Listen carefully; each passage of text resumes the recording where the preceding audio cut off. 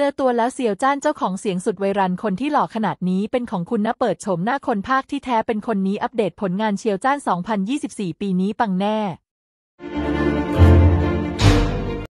เรียกได้ว่าตอนนี้ไม่มีใครไม่รู้จักเสียงพากย์สุดไวรัลในแพลตฟอร์ม TikTok อยู่ตอนนี้กับวลีเด็ดที่ว่าคนที่หล่อขนาดนี้เป็นของคุณนะที่ชาวเน็ตแห่พากันทำคอนเทนต์กันอย่างมากมาย โดยเริ่มจากที่แฟนคลับนำเสียงงอไปใส่กับศิลปิน หรือดาราคนโปรดของตัวเองจนลามไปยังคนดังในโซเชียลและคนทั่วไปก็เริ่มใช้กันมากขึ้นเรื่ออยออยแต่เริ่มแรกเลยก็คือมี คนนำเสียงนี้มาใช้กับบรรดาสัตว์หล่อๆทั้งหลายเช่นแพะหล่อลามะหล่ออันปาก้าหล่อจนกลายเป็นมีมไปทั่วบ้านทั่วเมืองถึงขั้นเกิดแฮชแท็กแพะหล่อบอกต่อด้วยนั่นเอง ซึ่งจากกระแสดังกล่าว